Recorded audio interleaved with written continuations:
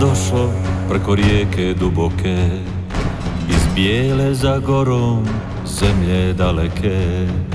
Dvije sestre ljepotice i nas braće pet A za nama ide silan svijet.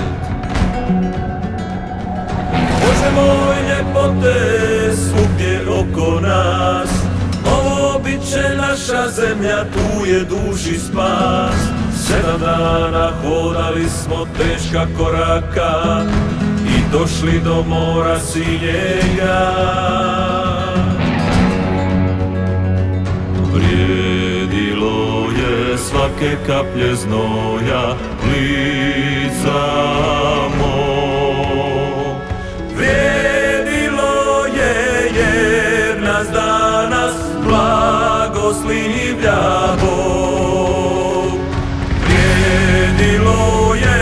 svake kaplje znoja lica mog.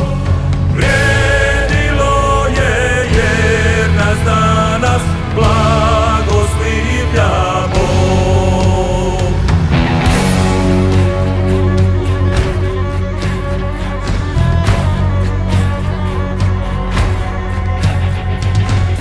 okolo oganj plamti gori u meni umora tijelo boli, žulji krvavi.